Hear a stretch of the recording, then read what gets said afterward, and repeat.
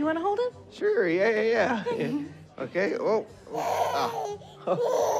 oh. Of course he cries when I hold him. oh, yeah. It's not a big deal. That's not a big deal. I guess he just doesn't like me. No, no, he's just fussy. Nah, probably just doesn't like me because I used to be a piece of shit. He likes you. Don't worry about it. I'm not worried about it. I, I know I used to be a piece of shit. I don't give a rat's ass. I'm gonna go see if he's hungry. Maybe that's a problem. That's not the problem. It's that I used to be a fucking piece of shit.